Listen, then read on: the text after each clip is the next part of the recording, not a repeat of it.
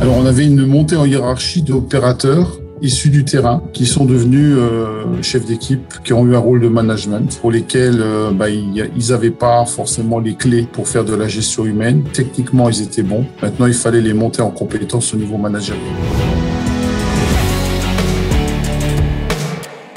Réfléchir avant de parler, c'est plus se poser avant de, donner des réponses ou de précipiter. Quoi. Ne pas dire tout de suite ce que notre cerveau veut qu'on dise.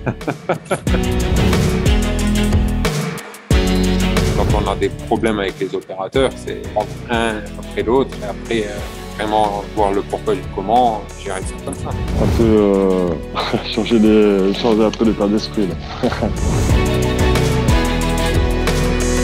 Oui, ben moi j'en ai mis trois en place. C'est un sur chaque ligne automatique. Et c'est ceux qui me rendent les comptes. Maintenant, je vais discuter à chaque fois avec eux et je fais.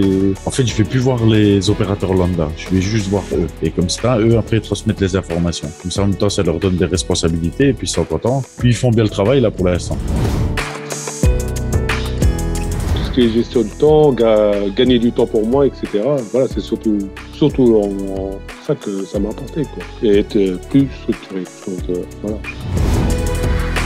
This is what I what I tell Fabia directly. This comes now for me on the right time. uh, This this training.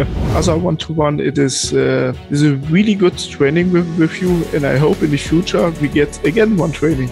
I hope. J'ai eu le retour de, de- du manager de ces personnes Ok. qui m'a dit que ça, ça a eu du bon, cette formation. Il a vu un, un avant et un après la formation. De leur euh, manager, j'ai eu un...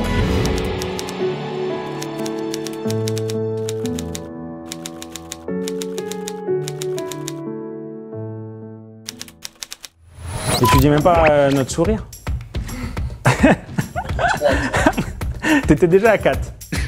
J'étais déjà à 4. Je pourrais rajouter le fait que j'ai super bien communiqué avec vous, euh, votre sourire. euh,